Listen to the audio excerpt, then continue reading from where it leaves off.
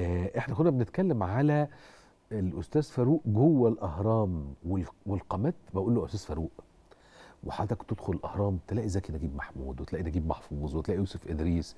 قال لي أنت كل ده ليه حواديته؟ وحكى لي بقى على حاجة يعني زي اللقاء الخميس.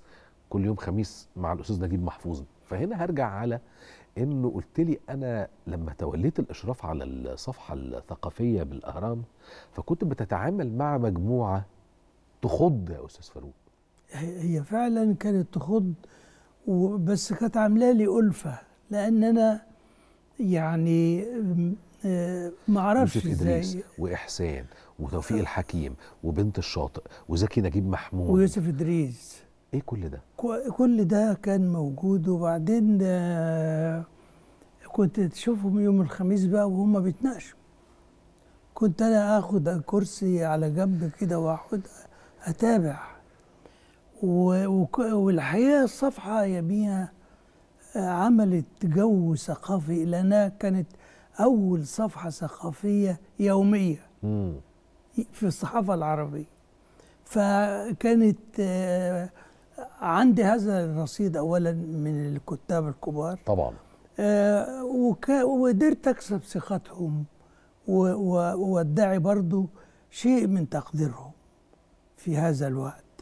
رغم إن أنا يعني سنوات العمر كانت لسه لكن أنا آه، كنت مريت قبل كده بايه بقى إن أنا اشتغلت محرر اقتصادي. كنت بقى وعرفت كل رجال الاقتصاد في مصر. دكتور القيسوني وحجازي والمجموعة دي كلها. وبعدين آه، يوسف السباع لما جه الاهرام بعد الأستاذ هيكل ما مشي آه.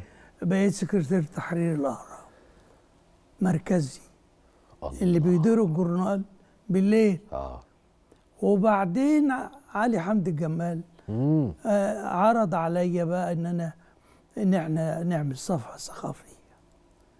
وابتديت أعمل الصفحة الثقافية. كتبت عبد الوهاب وكتبت جهان السادات. يعني بجانب كتاب الأهرام الكبار دول كنت آه، آه، من بره كمان بحاول أجيب الأسماء التانية أضمها للكتيبة دي. لكن آه، الحقيقة يمكن ده كان من الحظوظ الكويسة بالنسبة لي. اولا أنا أنتسب للاهرام ال- القلعة الكبيرة دي طبعا بإمكانياته كمان وظروفه. طبعا يعني أنا سافرت دول العالم كلها من خلال الأهرام. وحتى ما ابتديت أنشر شعري كان من- الأهرام. يعني فكان عبد الوهاب يقول لي إن أكبر ف- وأجمل فاترينا في العالم العربي هي أم كلثوم. كل واحد يحب يعرض فيها. يعرض. يعرض فيها. انتاجه الفكري ولذلك أنا كنت أقول للأهرام هو أجمل وأقوى فاترينا لأي كاتب. طبعا لأنه إمكانيات مهولة وبعدين اهرام في أحجام المردة يعني ما فيهوش هزار.